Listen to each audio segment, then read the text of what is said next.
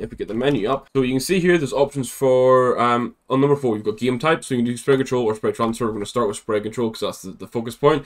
But then we can do a range, so the distance are going to be away. We've got mixed, close, medium, and long. I like mixed just to get that nice little variance.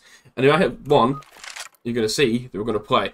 Now in this case, every time I shoot or kill a bot, they're going to spawn in a different location. So for example, that one, okay, they've moved, moves to here, moves to here, moves to here. You get the idea of it. If we open up the chat, you can see it tracks every single bot on this that we've just shit, that we've just shot. So only one of those was a clean 3 out of 3 hit for everyone. The rest all missed one bullet.